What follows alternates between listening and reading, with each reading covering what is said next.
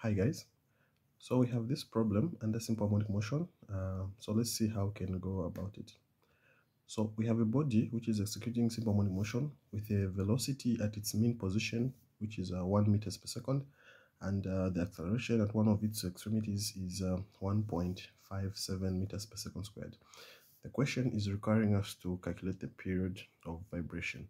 Now, it's important to note that in this question we only have uh, two quantities, it's just the velocity and the acceleration. So let's see how we can find, how we can solve this question.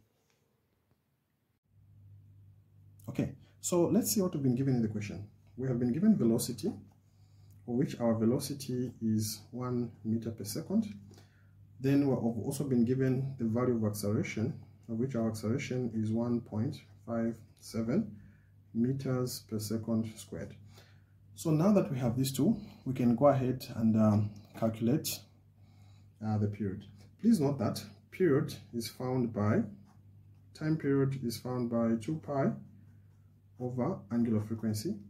Then in case you've been asked to find uh, the frequency, we can say frequency is equals to 2 pi omega, of which omega is representing the angular frequency.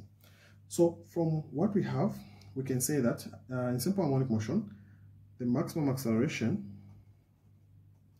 is given by the formula amplitude times omega squared. So this is just a formula for maximum acceleration.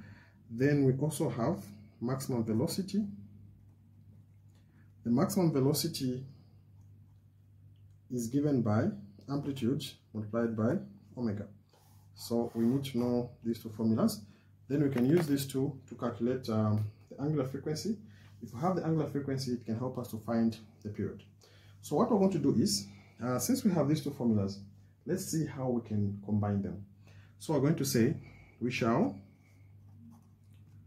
we shall divide acceleration, acceleration over the velocity. So let's divide the two. So from the these two formulas, we can say acceleration A, which is acceleration maximum, divided by velocity maximum, like this.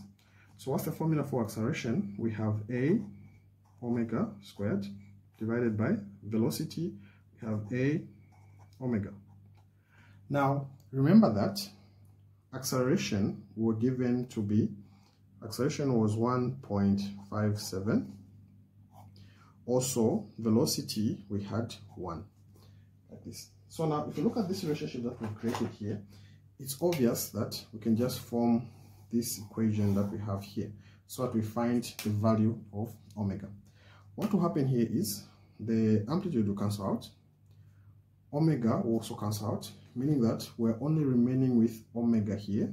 So omega is equals to this side we just have 1.57 over 1 so omega is equals to 1.57 rads per second. So now that we have the angular frequency, we can easily calculate the period. So we said that period is equals to 2 pi omega. So this is as good as saying 2 pi divided by uh, 1.57. So what does this give us?